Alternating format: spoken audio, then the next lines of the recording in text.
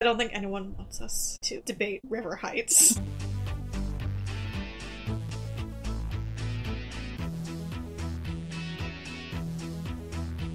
Hello, and welcome to the Afterspark podcast, an episode by episode recap of the Generation 1 Transformers cartoon. I'm Als, And I'm Specs. and today we're going to be talking about episode number 8 SOS Dinobots. Let's talk about giant robots today, shall we? Yeah. So today, today we get! Look at my perfect dino child! Oh, you really like him. I really love do. Grimlock, and I haven't got to talk about Grimlock, and now I get to talk about Grimlock. Uh, and at the Ark, the Autobots are talking about a series of mysterious earthquakes. Which through a volcano, I don't really know what they expect there not to be seismic activity, but okay. Considering that it woke them up, or at least it woke the Decepticons up prior to Starscream's. Stupidity. Yeah. oh, poor decision making. Ironhide apparently has sonar sensors. He decides to use them. I don't know what the hell a sonar sensor Excuse me, is. what now? Sonadar. Sonar? I don't know. I, know, I swear I looked it up and it was Sonadar. It was not Sonar, it was Sonadar. And I was like, what the fuck, man? what the hell? But yeah, okay. Apparently, Ironhide's windshield also doubles as a monitor. He is starting to feel like the Swiss Army knife of the Autobot army. I mean, geez, he kind of is. I just, he keeps pulling shit out and I'm like, where are you getting this shit from, man? I feel like all of them do that to some extent, but definitely Ironhide. Yeah, I feel like he's done it the most in the last like four episodes, though. Yeah. He's got a lot of space in his trunk. God That's- damn it! God damn it! I did not say he's got a lot of junk in his trunk this time, except he does. God, I said it. I blame you. Anyway, he scans the rock wall and his sensors recognize something's behind the wall. And so they set Sideswipe and Brawn to break through because Sideswipe's got like pile drivers and Brawn's basically just a wrecking ball. A wrecking ball on legs. So inside, they find some weirdly well preserved dino bones, and a volcano, an active volcano. Archaeologists would be ready to fucking murder these robots. Particularly Wheeljack, considering he actually picks up some of the bones. Well, well, considering how he handles them. Dude, he's Wheeljack. He does what he wants. He does. He really does. And Spike explains fossils to the robots. oh my god. But then uh, we we're back at another hydropower plant slash dam. And Soundwave exhibits a purple listening tentacle. I had to cut in. He, he's like in. He, he's in like his boombox mode, Yeah. exhibiting a purple listening tentacle. It's just.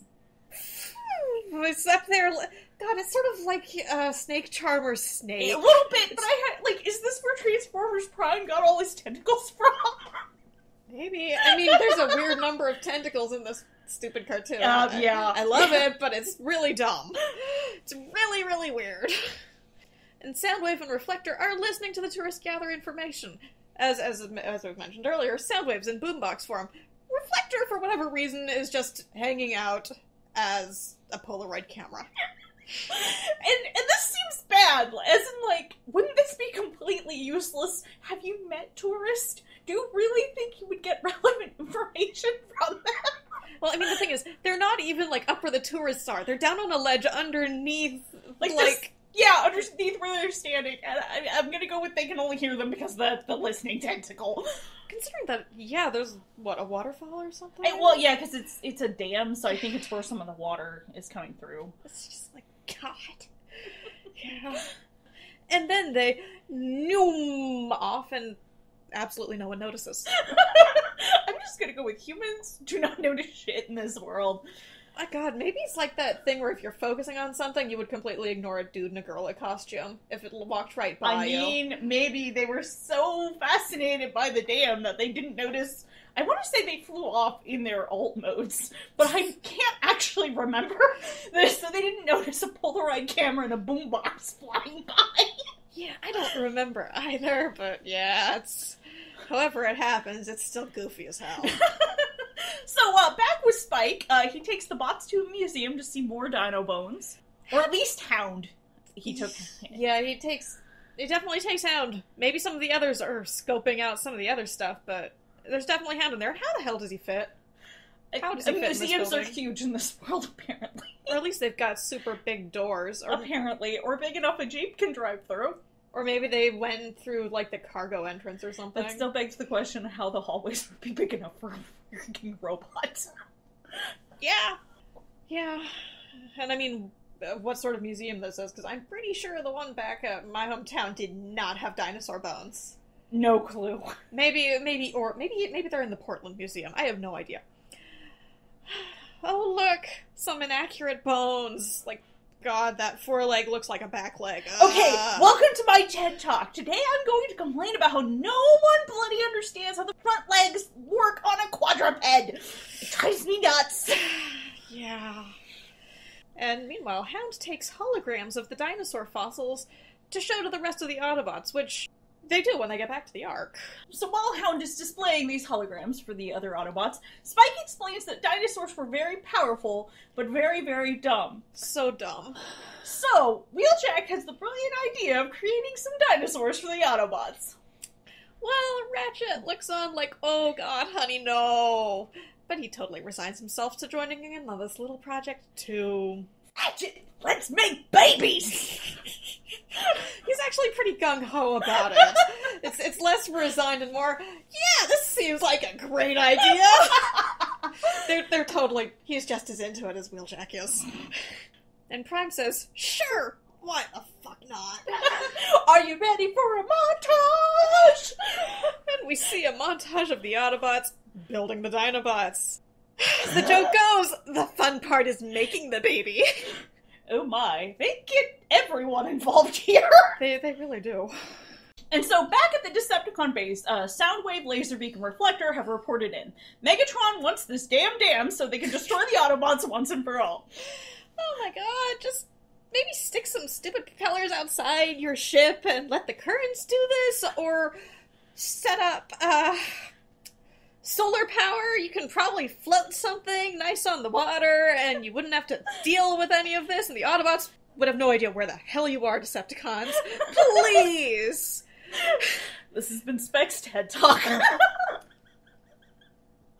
It's just you think they'd have they'd come up with a better way of dealing with us unless they absolutely just they they Don't do have this, the parts or something, but again, I, I feel like- would. I feel like I mean god, they made like a freaking giant underground city just out of their ship and whatever else was around there. I feel like they could probably manage this, except maybe the buoyancy bits. Even so, though, I agree with you on the currents thing or something that could generate electric, at least generate electricity or something. I feel like they And since they they make energon from like these dams and electricity anyway, that seems like it should be able to suit their needs. it would make sense. But apparently they're just like, no, we've got to make everything difficult, and also we like fighting. Apparently, uh, so basically, Starscream's being a bitch about this plan, and Megatron's just like Decepticons, prepare for conquest, and then they all ollie out out of there. Yeah, and at the Ark, all the Autobots are lined up to meet the new Dino children. Like they are literally in Lined line against the wall, and they're for whatever reason they're not in the same room Teletran's in, but they aren't doing this outside. They're in the stupid dark. yeah. So uh, Ratchet and Wheeljack are super proud parents. Damn it, so proud, they are so proud. so proud that uh, I believe uh, Ratchet starts talking with Wheeljack's voice. Probably, maybe. And the Dinobots are huge. Like the, they're they're They're Tall. really big They're compared to the other Autobots. they're big fellas. So it's Grimlock, Slag, and Sludge, the original Dinobots, because Swoop and Snarl get added later. Yeah. So uh, please note that more recently Slag's name has been changed to Slug on account of the word slag being a slur in Britain. We are going to continue to use his original name for now, as that is what he's referred to. Um, In the G1 cartoon. yeah, and we're located in the US where this word does not have the same meaning. However, please let us know if we need to make a bleeped version available or something, because we certainly don't want to cause Offense. offense to anybody. It's just we are not in that culture, and it's going to be confusing. if We're trying to swap back and forth when the cartoon is calling him something completely different. Yeah. So Huffer says something sarcastic. So it's like, shut up, Huffer. you know, normal. Um, so I think Huffer says something to the effect of, "What else can they do?" It's like, Well, buddy, they can destroy the fuck out of shit. They really can, as is demonstrated very shortly. and Wheeljack says the Dinobots have simple brains, just like real dinosaurs. Oh, this is n- this seems not like a bad idea. This is not a plan for success. So, naturally, uh, the Dinobots start attacking. You'd really think they would have done a test run somewhere else besides the main room with Teletran. Like, maybe they could have gone outdoors. Or something, but no, we're, we're gonna do it here. This is definitely the better option. Oh, God. Yeah. Bumblebee tries to stop Grimlock from getting into the control room, to which Spike says, You'll need some help, and hops inside. what exactly is the help you're planning on rendering here, little buddy? Unfortunately, it really looks like being a smear on the pavement. so, uh, Grimlock blows up Teletran 1. How did Teletran 1 even attract Grimlock's attention? It's not shiny, it's not moving, it's not making noise. Apparently, it's just got Grimlock attractant or something? it's a giant target painted on it. Pretty much. So the Dinobots are nigh indestructible, apparently, as the Autobots are having some pretty severe difficulty doing much to them. Well, they basically did make them to be indestructible. I mean, yes, so they're doing their job. they, they did their damnedest. And then Prime shouts at the at them, um, the Dinobots must be destroyed. oh, what the fuck, dude? They're your babies. They you have no one to blame but yourselves. You made them dumb on purpose. Unless the issue is that you just didn't have the parts to make their brains more I sophisticated. get, regardless, I, I feel like this is not their fault, and uh, clearly Wheeljack agrees with me Uh-huh. because uh, Wheeljack basically knocks out his babies and begs Optimus to not kill them. But uh, Optimus is a dick, and the Dinobots are buried back in the cave from whence the Dino bones came from. God, Optimus, we don't stick babies in the closet. And Wheeljack is sad. Very sad. And meanwhile, the Decepticons are attacking the hydro power plant. We see Soundwave, Megatron, Thundercracker in robot mode, which, mode. and a very svelte Brawn flying in, or just someone who's colored like Brawn. We never see them again. and then we see Skywarp and Starscream. Question mark? Question mark? Question mark? Teletran 1 appears to be the Robot 911 center as the humans in the hydropower plant attempt to contact the Autobots to say, hey, we're being attacked by fucking Decepticons. It does not work. It does not go through on account of Teletran 1 still being fucking broken. As Ratchet is attempting repairs. Meanwhile, Ravage continues to show his complete hatred of Windows. Security windows, even. He goes right through. Yep. Um, a Soundwave sends him in to stop the humans from contacting the Autobots, and everyone gets eye beams today. You get eye beams, you get eye beams, everyone gets eye beams! Let's see, we've got two Dinobots and Ravage with eye beams in this episode. Why? It's the hot new thing, and all the kids have it. And Megatron claims the right of conquest over the hydropower plant. I don't know why I find that funny, but I do. It's just, it seems like it's really. I claim the right of conquest over this human installation. It seems like it feels like he's claiming right of conquest over the grocery store. Yes! Yes! okay, so uh, with Teletran 1 out of commission, apparently Hound is the Decepticon monitor today. Sans Cliffjumper to today, thankfully. But he is human sitting Spike. I don't think they. Hound contacts Optimus to warn him that Decepticons are out causing shenanigans. Like, part of his head lights up. It's I think it might have blinked a bit. It was weird. Yeah. And Prime says he'll meet Hound at the Great Falls in 8,000 astro astroseconds. I fucking hate all of you. Just want you to know that. Um, Can we please have some consistency with our wanna know what time units? I'm like, look, either don't use human time measurements or do. I don't particularly care, but I do feel like maybe you guys should pick one. Consider you're not assholes and you work with Spike and uh, Sparkplug all the fucking time. I'm actually gonna bank on you probably swap over to human measurements of time.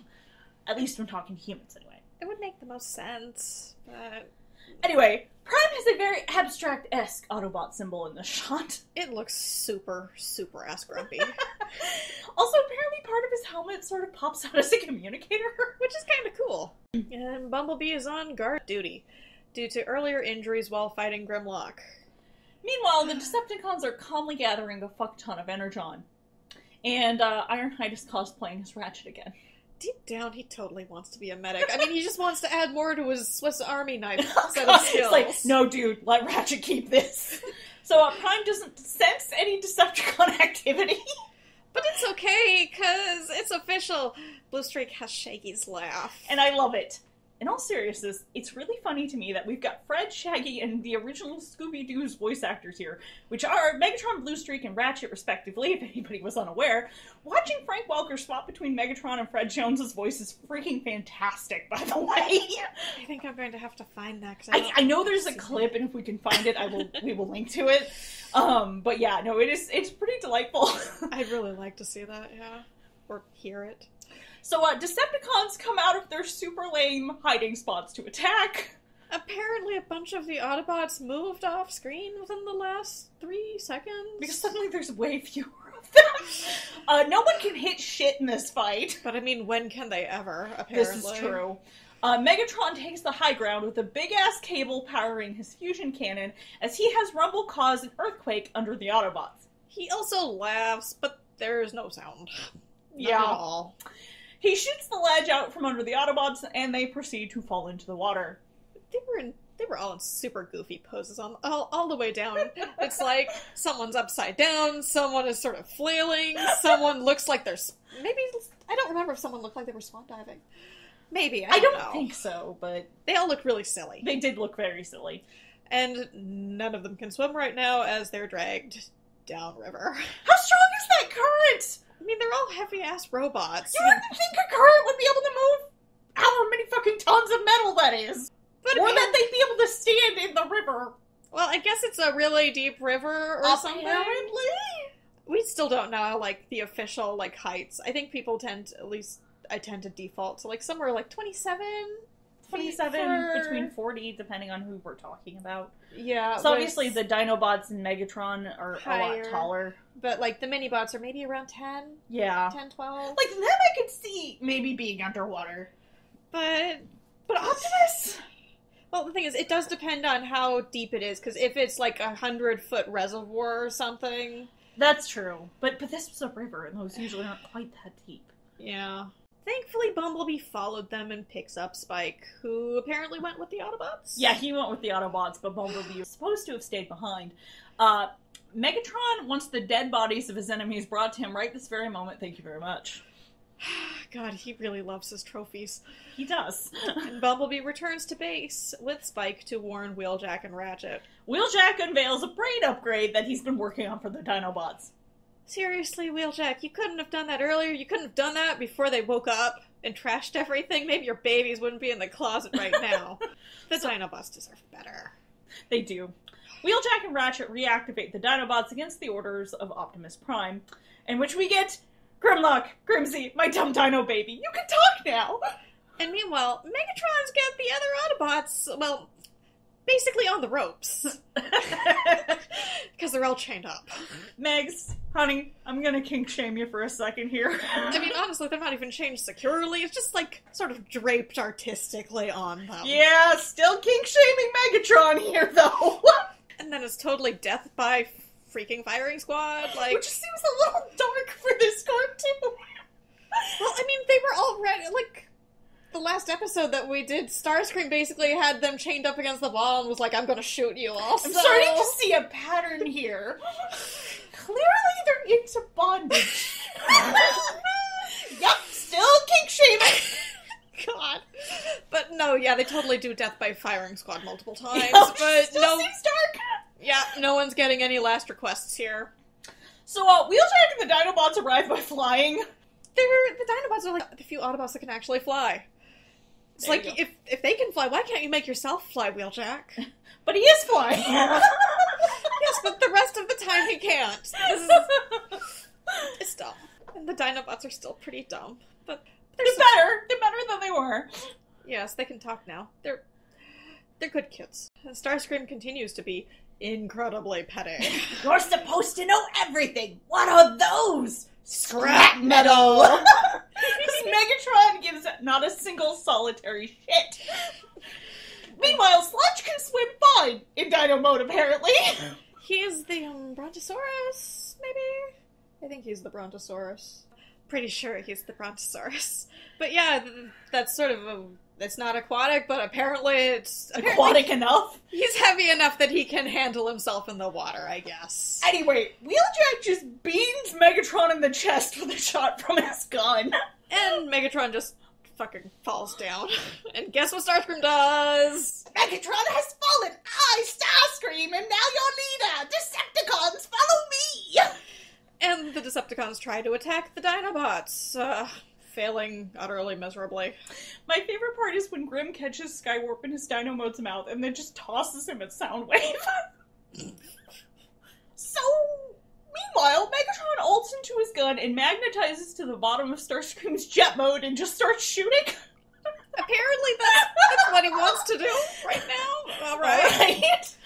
And Wheeljack gets himself some more guns. Obviously, more guns solves everything. I, I think I think he like got everybody else's guns that were tied up or something. They were all the, the Decepticons just dumped them in a pile, and then he works his voodoo tech magic to somehow get all of the Autobots out of their restraints. Because, like, apparently one of the guns has some sort of microwave feature, and then another, like, Bluestreak's, like charges people up somehow. All I know is it somehow got all the bots out of the restraints, dried off, and recharged in two shots. Yes, it was weird. So Megatron orders a retreat. The Decepticons are blasting off again! All la la Team Rockets. And Optimus deigns to allow the Dinobots to stay. And yet they still live in a closet. We're really not forgiving you, Optimus, even if you are dad shaped. And that's where today's episode cuts. Uh, join us next time for Fire on the Mountain, where the Autobots remember that Skyfire exists and our favorite alien robots take a trip down to South America. I also remain convinced that Megatron's got a thing for big shiny ass crystals. He does. I mean, considering there's at least three freaking episodes with shiny ass crystals, and I'm pretty sure that the uh, Transcontinental, Trans Europe Express one also involves a big shiny crystal. That would not shock me. but specifically, it's Wheeljack who remembers Skyfire. I'm convinced Wheeljack just didn't know, and then they mentioned it in passing. He was like, "Oh, I can get him out of there." anyway, Specs, what are our fanfics for today? All right, we have a um, we have four selections today. The first is The Field by Retrolex. It's actually kind of an older piece of fanfiction that they rewrote and reposted. It's a G1 cartoon continuity rated T for teens. Uh, it's Gen. There's no pairings, and the main characters here are Ratchet and Cliffjumper. Ratchet's not going to have a fun time. When does that he ever have a fun time? I don't think ever. Yeah. Yeah. So, in summary, Ratchet's job is never easy. Sometimes the other Autobots don't make it any easier for him. And I just wanted something with Ratchet here. That seems fair. Yeah, and it's a one shot. Uh, the rewritten version, I think, is slightly, is somewhat shorter than the original. I will probably add the link to the original version. Our next choice is Just a Little Tipsy by Alien Pixels, G1 cartoon rated K, Gen, no pairings. Characters here are Ratchet, Wheeljack, Optimus Prime, and Prowl. And in summary, it's how the hell did Wheeljack come up with the idea for the Dinobots anyway?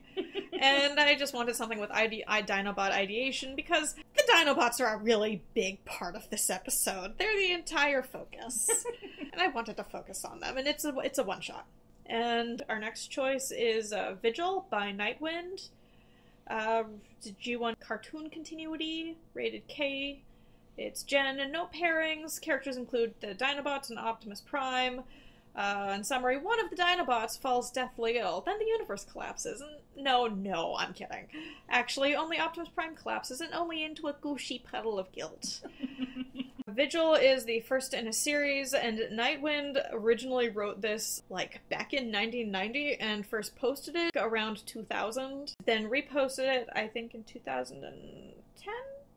This is pretty old, but this is sort of the start of the swoop as a medic headcanons, which is apparently pretty popular still.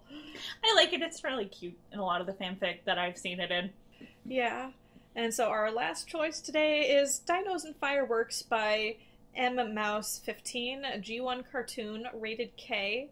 It's Gen, and there aren't any pairings. Uh, and the characters are Wheeljack, the Dinobots, Ratchet, and Sideswipe. In summary, the Dinobots are young and have never seen fireworks. and again, it's Dinobot centric, and it's a one shot, and it's really cute. Cause It sounds really cute. I haven't read this one yet, but I'm gonna have to. It is. It's basically the Ratchet and Wheeljack have difficulties getting the Dinobots to go to, into recharge, like most of the time, and then Sideswipe is like, "Hey, I have mini explosions. pretty much." And then the Dino, like after the explosion, God, the firework display, the Dinobots are like, "Oh, let's go to bed now," more or less. and it's just it's cute. It's very cute. And the field is very funny. It's a comedy, but the rest of these are just they're good. And that just about wraps it up for us today. Remember to check out our Tumblr at afterspark-podcast.tumblr.com for any additional information, show notes, or links we may have mentioned. You can also find us on Facebook and Twitter at AftersparkPod, all one word, and SoundCloud and YouTube at Afterspark Podcast, with the space between Afterspark and Podcast. you can also find us on Pillowfort as Afterspark Podcast and on AO3 by searching for Afterspark Podcast. Uh, till next time, I'm Specs. And I'm Els. Toodles.